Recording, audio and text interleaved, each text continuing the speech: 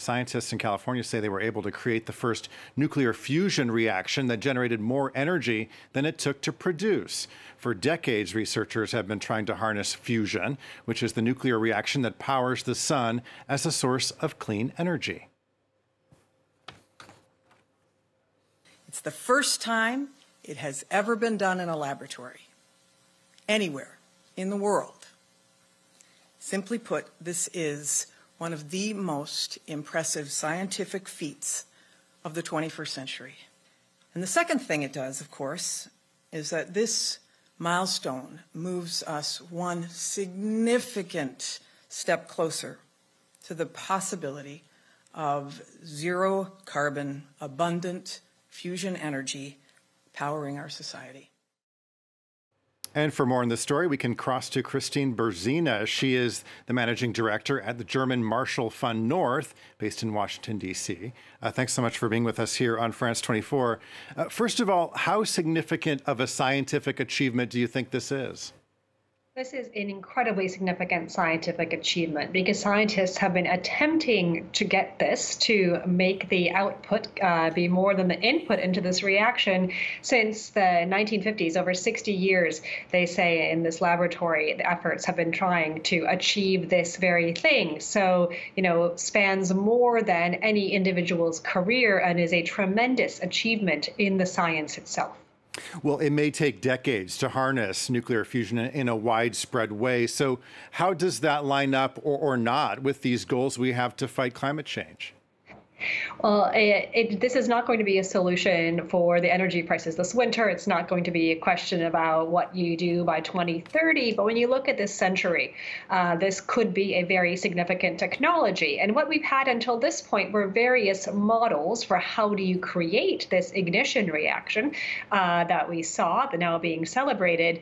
Um, you had this California model. There's a different one uh, that is being uh, worked on a number of countries in in France. So you have the EU and Russia and China, uh, the US, others working on an, a separate hypothesis for how you could get to the same point in France. And so the question here is how does the science move forward? What are the models that might be viable in the future for commercialization, for taking something outside of a laboratory setting and moving it into something that could be important for power generation in our homes across the planet? Well, so how do you foresee that playing out, given that there is competition and there is technology being um, uncovered in various in various countries? Well, the competition for science is a good thing.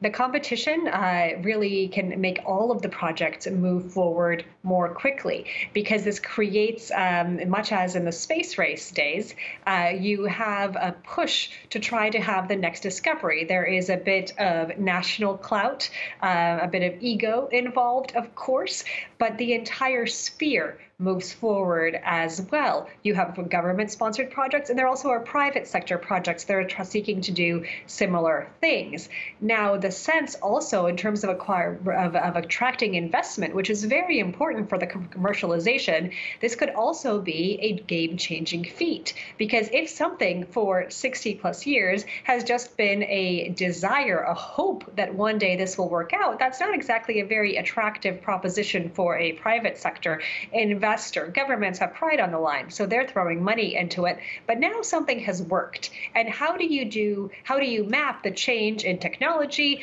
having an actual achievement, and how does that fit into the commercial private investment space, that could be really some of the fueling that we need to create this entirely carbon neutral future. Uh, and that could be tremendously exciting for all of us. You're talking about competition, but there also must be some sort of agreement. What, what would it take for this kind of, uh, to make this source of power a reality? What kind of agreement would there have to be globally for that to happen?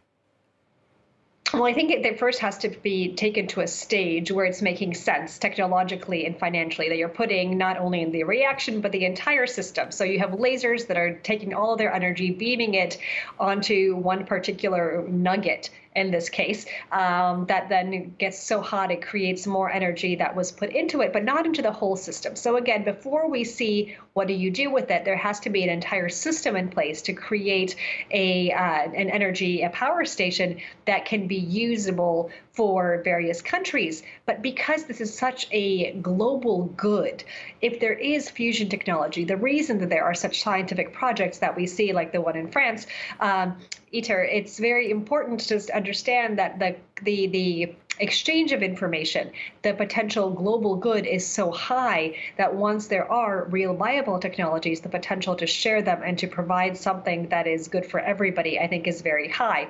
Always challenges there, but I think scientific collaboration on this is always uh, helpful also within our international system, providing support for making this work for everybody in the decades to come would be great. But again, this is a first step. It's not a viable commercial or technological model for our energy purposes yet, but it is a huge leap forward from where we were.